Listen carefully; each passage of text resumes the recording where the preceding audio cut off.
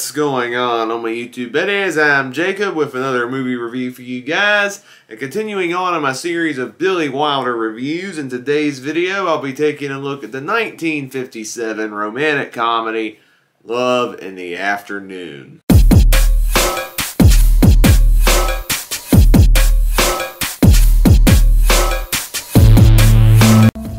Love-struck conservatory student Ariane pretends to be just as much a cosmopolitan lover as the worldly mature Frank Flanagan hoping that l'amour will take hold. So Love in the Afternoon was released in 1957, the second of three Billy Wilder directed films that came out that year. I previously reviewed the Spirit of St. Louis on my channel, a criminally underrated film in Billy Wilder's filmography, and I'll be doing the third one next in my Billy Wilder director project. So, Love in the Afternoon.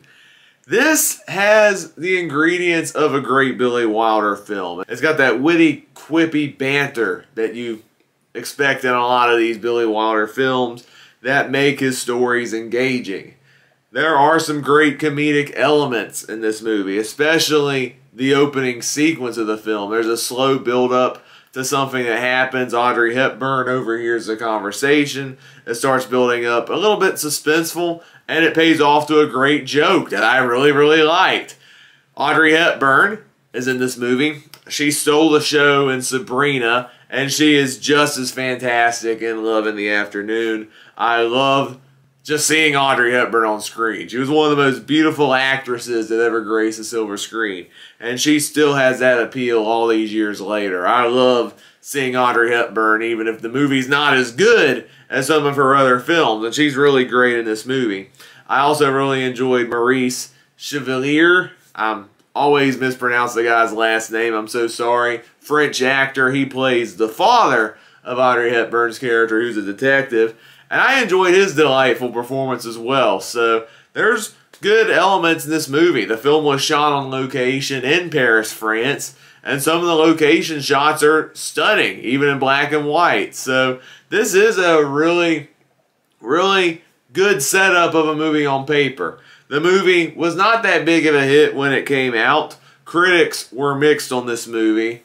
This isn't seen as one of Billy Wilder's best films, although there are people who do see it as a hidden gem.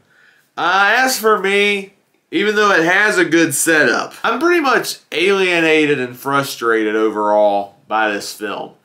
And a lot of it has to do with the romance of this movie. I could not buy into the romance of this movie at all, which is sad because Gary Cooper is a great actor. Gary Cooper. He did a lot of great performances in his day. If you have seen the movie High Noon, he is phenomenal in that movie. I cannot buy the romance in this movie one minute between Gary Cooper and Audrey Hepburn, which it might come off as hypocritical of me to say that because Audrey Hepburn has starred in movies where her character falls in love with older men. We've even seen that previously in a previous Billy Wilder film in Sabrina. Uh, she started going out with Humphrey Bogart in that movie, who's way older than Hepburn in that movie. And she also fell for Cary Grant in Charade. And I thought they were great together in that movie. So you can have that age difference play out in some of these movies and it'll still work fine because the actors have the chemistry and they bounce off each other and it works fine. Here, it just something just did not click for me in this movie. And I kept struggling and struggling to figure out why isn't this working because the dialogue is good. I was engaged by some of the dialogue in the movie. Hepburn is stunning. But why? why am I not clicking with this? Why isn't it working with Gary Cooper? Even though he's clearly committed to the movie, he's committed to the performance. Why isn't it clicking? I think when I was watching it, I could just see the difference, and I'm like, yeah, Gary Cooper looks more like her dad than her lover. I didn't feel that when watching the other movies. It just comes off weirder when you're actually just sitting there and you can't see the illusion that you're watching a movie and two actors acting. Two different actors with a big age difference and you see it and it just doesn't work when you're overthinking the movie. And that's the biggest detriment that this movie has. And also, the the movie, the good chunk of the movie is Audrey Hepburn just playing him on because Gary Cooper's character Frank lives the playboy lifestyle.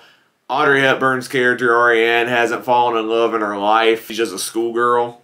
And she's just leading him on like she's like going after all the men and she's richer than he is and stuff like that. How many other men were there? You mean before I met you, or since I met you, or all together? Quit stalling.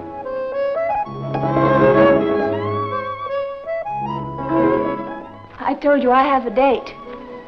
The man you live with? No, this is another man, a younger man, the man I play with. Wait a minute. You.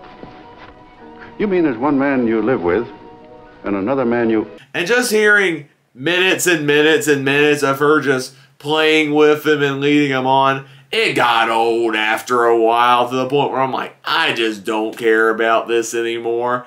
And the ending, oh my gosh, the ending of this movie was ridiculous. Like, I was enjoying where it was building up to. Uh, how the connections were all there and stuff, especially when the father, Maurice, finds out about their relationship was genuinely funny. I will give it that.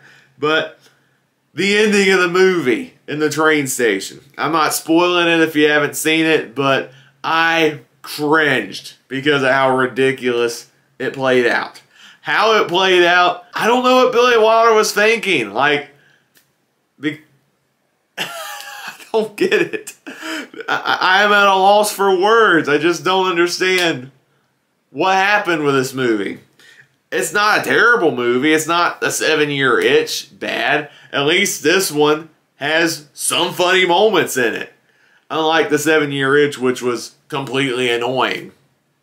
This has its moments, and it had the potential to be a great film. But I think if you had a different actor that was not Gary Cooper, that would play better with Audrey Hepburn, I think this would be a great movie. But as is, it's a man movie in my opinion. Like there's aspects I like, but this movie overall does fall flat at the end of the day. It's definitely not one of the strongest suits from Billy Wilder. I can definitely see it was why it had a mixed reaction back then, and I can't see this movie winning over any newcomers anytime either.